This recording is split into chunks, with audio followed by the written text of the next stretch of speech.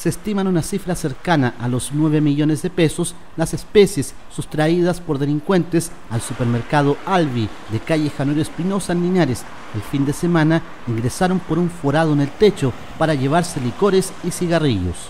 los dos delincuentes que ingresan al interior de este supermercado lo hacen simplemente haciendo uso de una tijera para cortar una lata de zinc, alguna, alguna tijera que le permita, ¿no es cierto?, este corte. Y a raíz de esto, ¿no es cierto?, ingresan al interior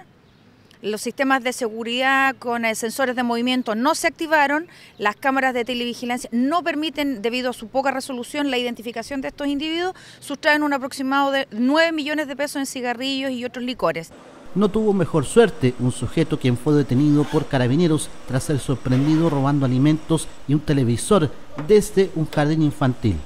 se sorprende por parte de carabineros que realizaba un patrullaje preventivo a un individuo joven que lo hacía portando entre medio su, entre sus vestimentas un televisor LCD y algunas otras especies que aparentemente él no pudo dar explicaciones respecto de su tenencia, producto de lo cual se realiza un control de identidad y una revisión de las vestimentas pudiendo establecer por sus propios dichos que momentos antes habría ingresado él forzando la puerta de este jardín infantil, sustrayendo las especies avaluadas en aproximadamente 750 mil pesos.